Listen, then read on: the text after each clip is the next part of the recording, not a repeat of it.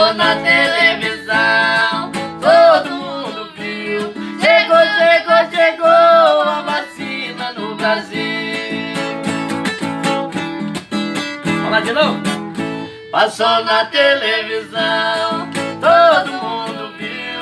Chegou, chegou, chegou a vacina no Brasil. Já pode vacinar o vovô e a vovozona. Do corona. Que beleza, chegou, gente! Alexandre não tá aqui, viu?